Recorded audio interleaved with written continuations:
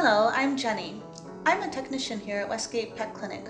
Today we are going to discuss diabetes, the symptoms, the treatment, and the goals of treatment. We will also discuss how to give an injection, as well as feeding your pet and monitoring your pet for concerns or complications. Diabetes is defined as the inability to regulate blood sugar because the body is not producing enough insulin.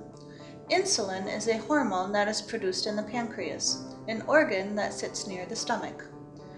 When your pet eats food, the sugar or carbohydrates in that food is converted to glucose inside the cells. This provides energy for the body. Insulin attaches to the outside of the cell and opens the cell wall like a gate. This allows the sugar to leave the bloodstream and enter the cell. When there is not enough insulin, the sugar remains in the bloodstream and cannot be used for energy. This will create a high blood sugar level. Cats typically have type 2 diabetes. This means they can produce insulin, but not enough for their size or weight, or for the current food they are eating. This type of diabetes has a high rate of reversal or remission. The symptoms of diabetes include increased thirst and urination, increased appetite, and weight loss. Untreated diabetes in cats can result in very weak back legs. This is called diabetic neuropathy. Oftentimes, pets are eating well but losing weight. This is because the lack of insulin is not letting the blood sugar go into the cells to be used for energy, making the pet feel like they're starving.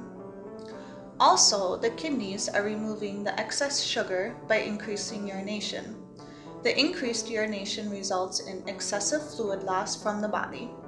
This fluid loss causes the pet to feel thirsty, therefore increasing the amount they drink. The goals of treatment typically include a weight loss program, followed by keeping a healthy, stable weight.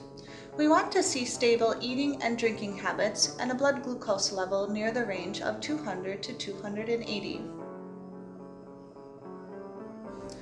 The materials that you will need to give your cat an injection include your insulin, insulin syringes, and a Sharps container or a BD safe clip device.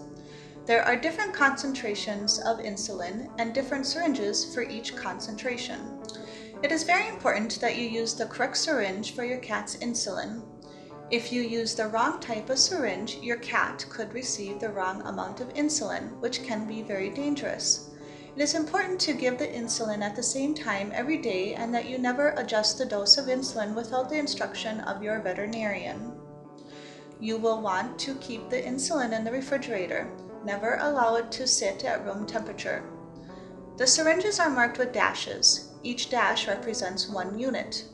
Remove the safety cap from the plunger of the syringe. Next, remove the colored cap from the needle. Pull the plunger back to the number of units the veterinarian prescribed for your cat. Today, we are going to inject 4 units of glargine insulin, so we will pull the plunger back to the 4 unit mark. Insert the needle into the top of the insulin vial and push the plunger all the way in to inject air. With the needle still inserted, turn the vial upside down to draw up the appropriate number of units.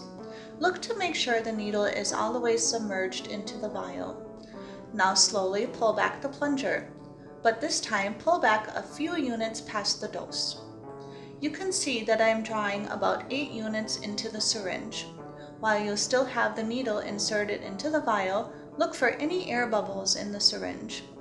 If you see any, gently tap the syringe on the side to release them. Now slowly push the plunger back to the prescribed dose, in this case, 4 units. Take your finger off of the plunger and pull the needle out of the vial. Recap your needle with the colored cap to protect it until you are ready to use it. The syringe is now ready for the injection. Most people are nervous about giving their cat an injection, but it is actually an easy thing to do. When you are ready to give the injection, place your cat on a stable surface. Pet your cat before you begin. This will help calm you and your cat. Decide where you are going to inject your cat. It is best to alternate between the left, middle, and right scruff of the shoulders. While you are petting your cat, gently pull some skin up to form a tent for your injection. Now, quickly insert the needle into the fold of skin. The needle is very thin and sharp and won't harm your cat. Pull the plunger back a little bit to ensure that no blood enters the syringe. If you do see some blood in the syringe, throw it away and start with a new one. Push the plunger all the way in to inject the insulin, then withdraw the syringe and needle from the skin. It's that easy.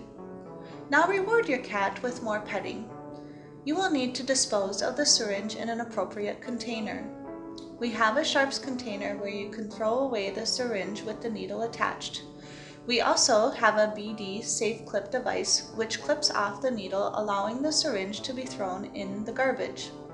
Both items can be brought back to the clinic for disposal. A proper diet and weight loss program is also key to the treatment of diabetes in cats. You will want to follow the doctor's instructions for the proper type and amount of food. Improving the environment to increase movement and activity can also help to attain the desired weight. Your cat will be transitioned to a high protein, low carbohydrate diet. Prescription canned food is the best way to achieve this combination because most dry foods are too high in sugar and carbs. If your cat won't eat canned food, we have a handout with suggestions for transitioning to canned food. Or we can discuss the prescription dry diabetic foods that are available. Diabetic cats should have food given to them twice a day. This will allow you to observe if your cat is eating. It is okay for your cat to graze on this food throughout the day. If your cat is eating, then it is okay to administer the insulin. Never give your cat its dose of insulin if you are suspicious that they haven't eaten anything in the last 12 hours or that they are not feeling well. If the insulin is given when your cat has not been eating or is not feeling well, your cat can become hypoglycemic. Signs of hypoglycemia or low blood sugar include staggering, being disoriented, falling over, extreme lethargy, dazed or being non-responsive, and in extreme cases, seizures or coma. These are all emergency situations and your cat should be seen immediately by a veterinarian. You will want to keep a bottle of Karo syrup on hand for such an emergency. You can rub some syrup on your cat's gums if possible to help increase their blood sugar level. Immediately bring your cat to the clinic where we can assess and treat appropriately.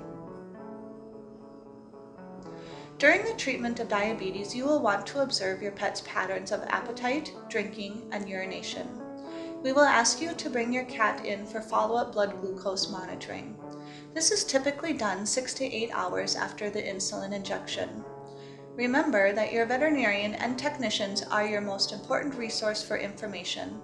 Never hesitate to call us about your cat's treatment or condition. We hope that this video has been helpful and informative. Thank you for watching.